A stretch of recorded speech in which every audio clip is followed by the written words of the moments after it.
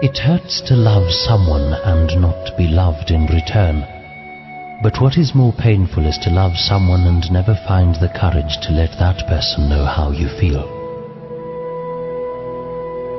Maybe God wants us to meet a few wrong people before meeting the right one so that when we finally meet the right person, we will know how to be grateful for that gift. Love is when you take away the feeling, the passion and the romance in a relationship and find out you still care for that person.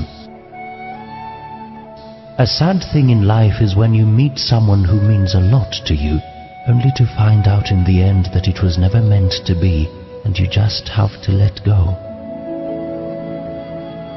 When the door of happiness closes, another opens, but oftentimes we look so long at the closed door that we don't see the one which has been opened for us.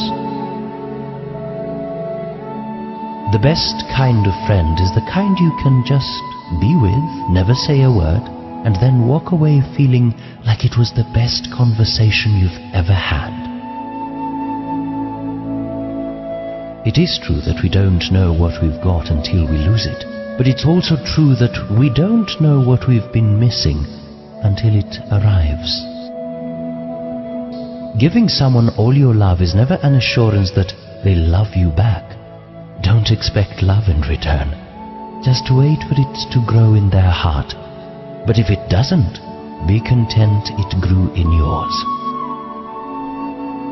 There are things you'd love to hear that you would never hear from the person whom you would like to hear them from. But don't be so deaf as not to hear it from the one who says it from their heart. Never say goodbye if you still want to try. Never give up if you still feel you can go on. Never say you don't love a person anymore if you can't let go. Love comes to those who still hope, although they've been disappointed. To those who still believe, although they've been betrayed. To those who still need to love, although they've been hurt before. And to those who have the courage and faith to build trust again. It takes only a minute to get a crush on someone, an hour to like someone, and a day to love someone. But it takes a lifetime to forget someone. Don't go for looks, they can deceive. Don't go for wealth, even that fades away. Go for someone who makes you smile because it takes only a smile to make a dark day seem bright.